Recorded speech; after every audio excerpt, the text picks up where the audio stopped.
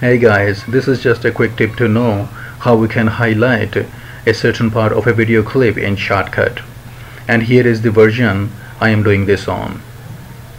You can see that I have already added a video clip to the timeline. And what I want is to highlight the setting button area on this page.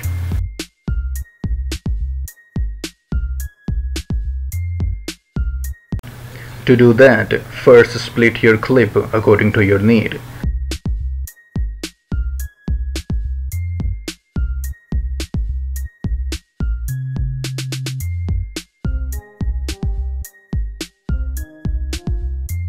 and then click on open other and select color.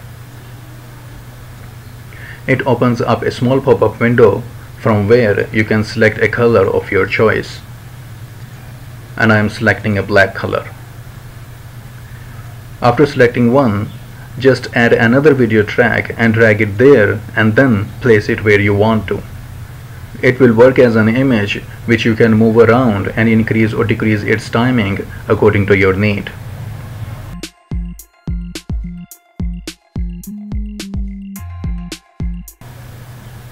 Now go to the filters and find one named mask there are many options available, but what you need is to select simple shapes. Here you will have options to play with and you can see on the screen it got small and it's just because of its default setting. Here with these options you can move it around and adjust the dimensions according to your need and place it where you want it.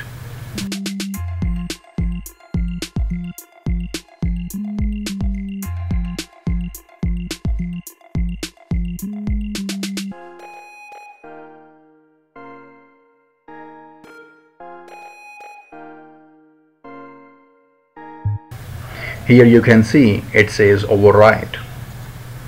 Click on it and select subtract from these options. It will black out the whole screen except the area we want to highlight. Now adjust it further if there is a need.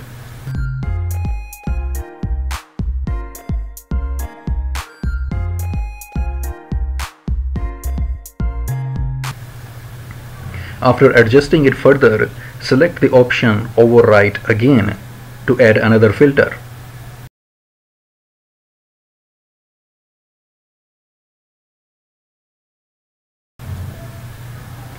So go to the filters and find one named opacity and change it according to your need. I'm just keeping it at 50%. Now select subtract again and here you can see that it has dimmed the whole screen except the area we want to highlight. Now play to see how it looks.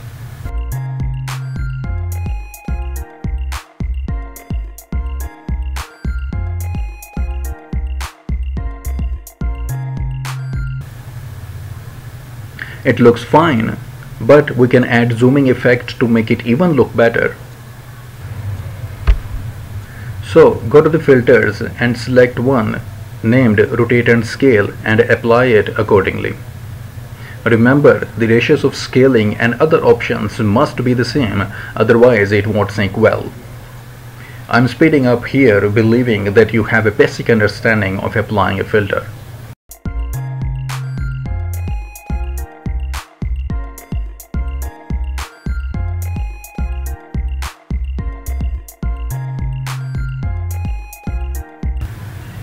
After applying it, play the video to see how it looks.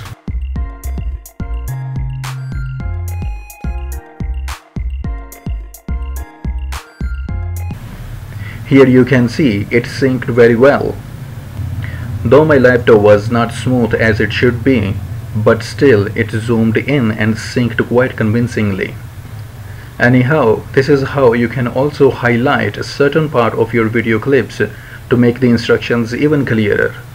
And I hope this tip will be helpful for someone out there and thanks for watching.